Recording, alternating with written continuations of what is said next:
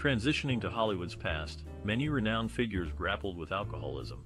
Elizabeth Taylor, a symbol of beauty and talent, struggled with alcohol and painkillers, admitting herself to the Betty Ford Clinic in 1983. Her brave step inspired countless Americans facing addiction, ultimately shifting societal views on seeking help. Richard Burton, Taylor's ex-husband, also wrestled with heavy drinking. Consuming up to three bottles of vodka per day, his hard partying image became legendary in the 70s.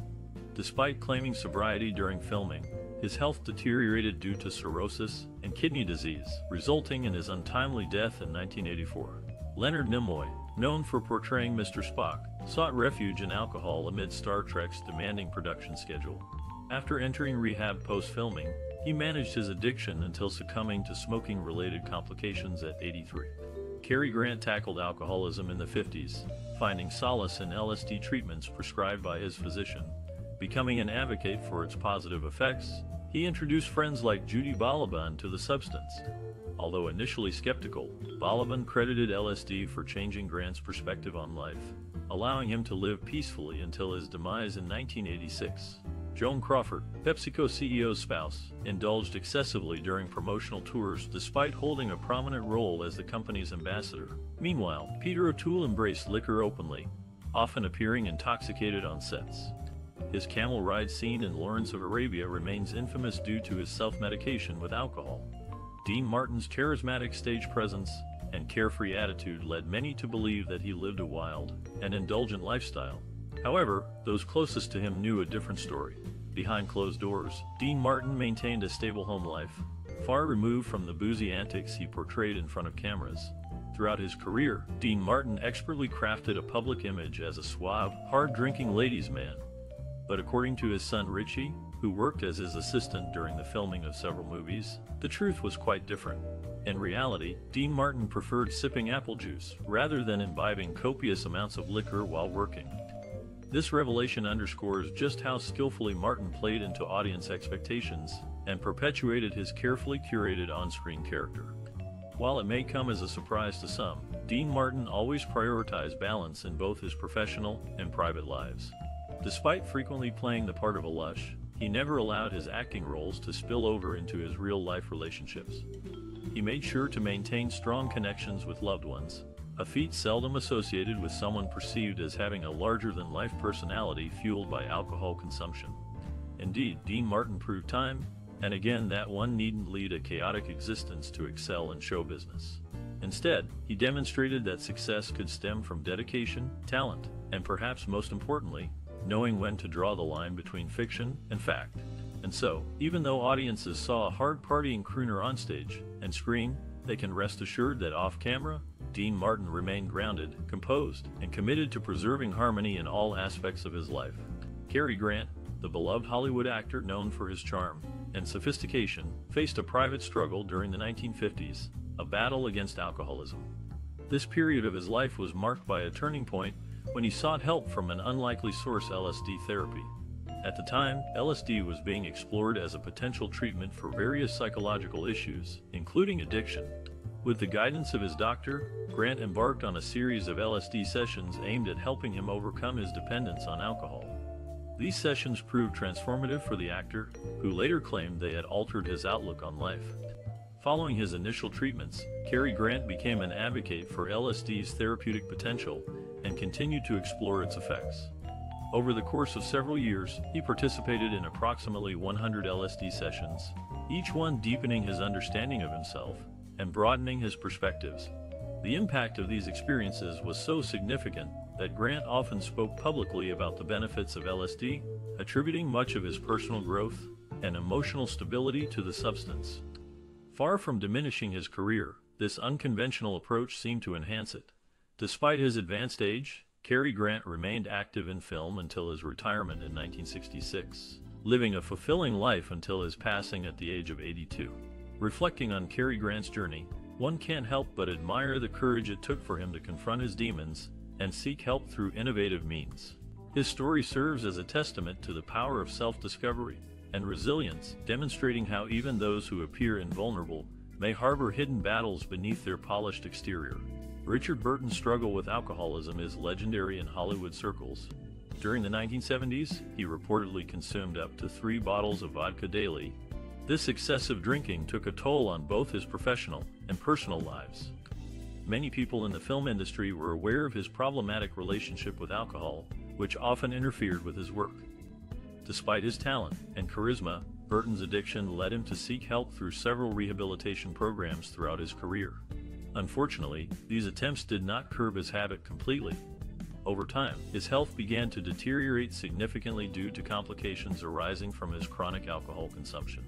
Both his liver and kidneys suffered irreparable damage, ultimately contributing to his untimely demise at just 58 years old. This unfortunate tale serves as a stark reminder of how destructive addiction can be when left unchecked. Despite being one of the most celebrated actors of his generation, Richard Burton could not escape the clutches of his affliction. It's a tragic story, but also sheds light on the harsh realities faced by those battling substance abuse issues.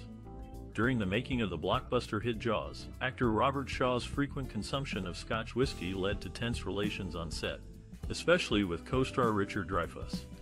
Shaw's drinking habits weren't all bad news though. They actually enhanced some aspects of his performance, the British star, known for his rugged charm and commanding presence, would often show up on set under the influence. This caused friction between him and younger actors like Dreyfuss who found it difficult to work with someone whose behavior was so unpredictable. However, when playing the role of Quint, a hard-drinking sea captain, Shaw's state mirrored his character's condition rather well. His slurred speech and erratic movements added authenticity to the portrayal, making these scenes more believable and intense. Despite the challenges posed by Shaw's drinking problem during filming, he remained a respected figure in Hollywood, with notable roles in films such as From Russia with Love and A Man for All Seasons. Shaw had already established himself as a talented actor before joining the cast of Jaws.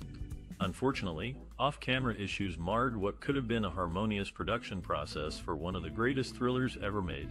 Leonard Nimoy, best known for his portrayal of Mr. Spock in the iconic TV show Star Trek, struggled with alcoholism during the height of his fame. The pressure of maintaining his character's logical persona and coping with the sudden stardom took its toll on Nimoy.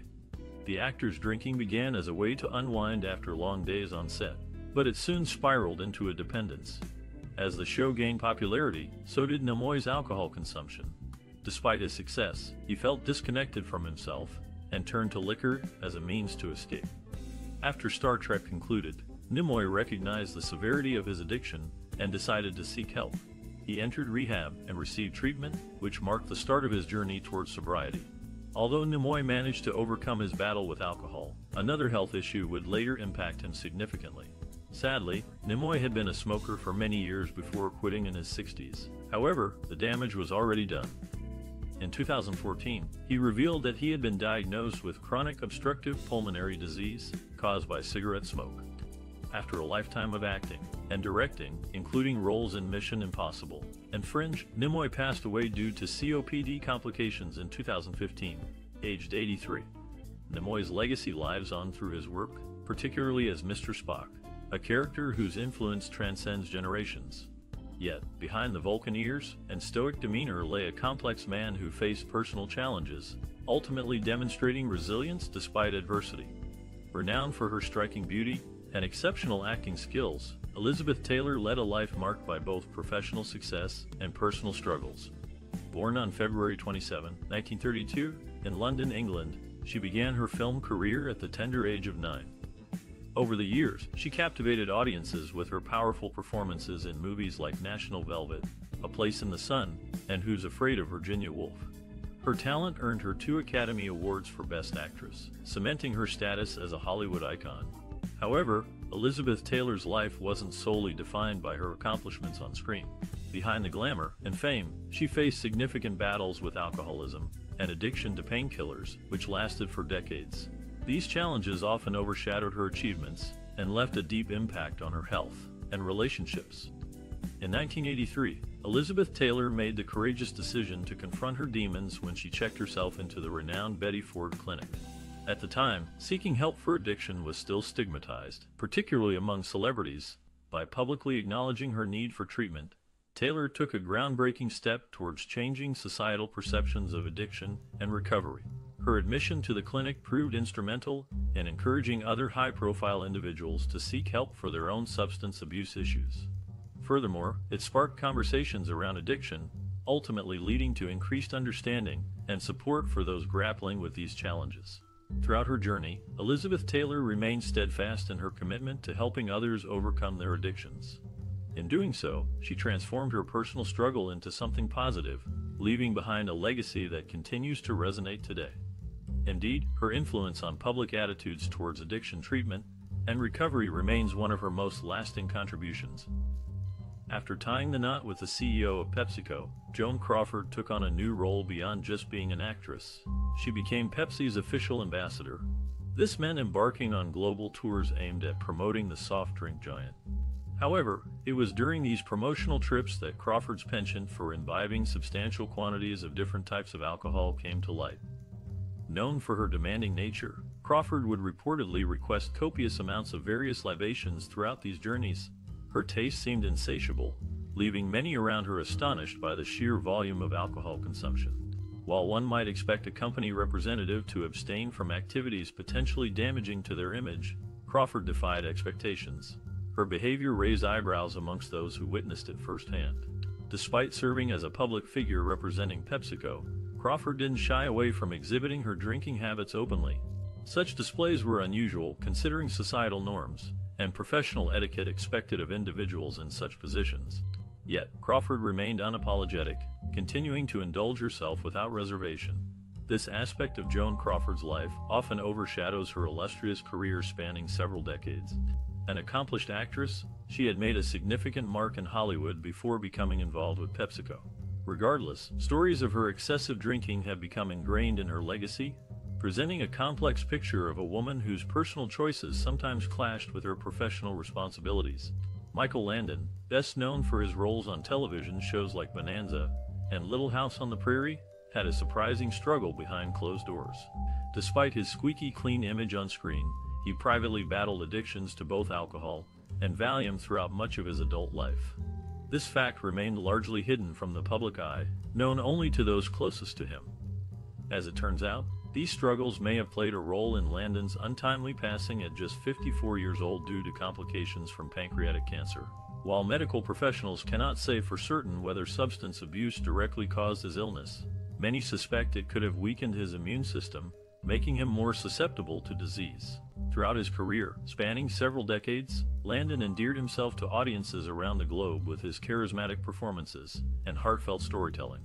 Yet even amidst all the accolades and admiration, he grappled with demons that threatened to derail his personal and professional lives. In hindsight, one wonders how different things might have been if he'd received help sooner rather than later. But alas, we will never know what could have been. What remains clear, however, is the indelible mark left by Michael Landon, not only through his work, but also through the lessons learned from his private battles. Perhaps his story can serve as a reminder that appearances can often deceive, and everyone carries their own set of burdens, regardless of fame or